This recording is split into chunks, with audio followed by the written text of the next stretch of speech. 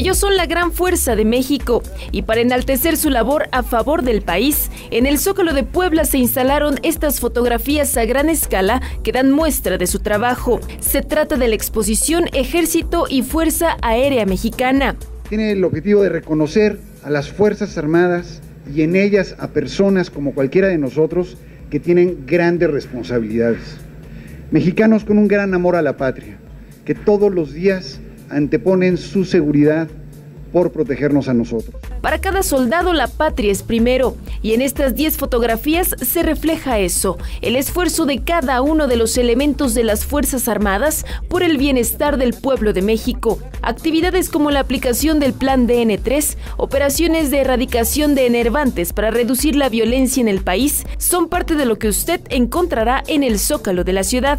Las instituciones que actualmente dan sustento al país se han cimentado a través del esfuerzo y entrega de muchos ciudadanos comprometidos con los ideales de libertad, igualdad, justicia y progreso.